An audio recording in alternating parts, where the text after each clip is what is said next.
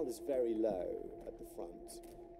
The war is going very badly, and nothing drives revolution like political and military defeat. Get up! You have your orders! On your fucking feet! Up that ladder! You don't have to. Stand firm.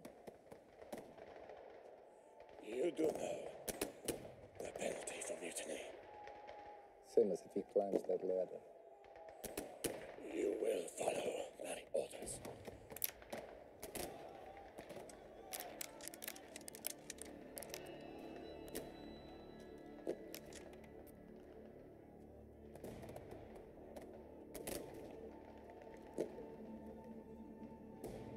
That time is gone.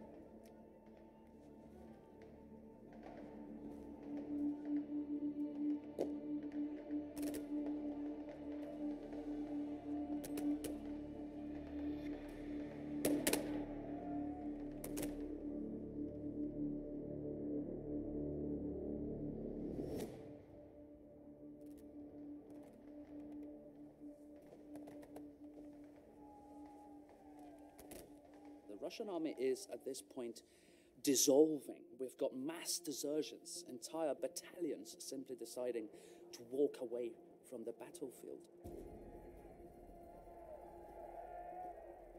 And even more worryingly for Nicholas, those battalions are heading home to cities in the grip of rising revolutionary fury.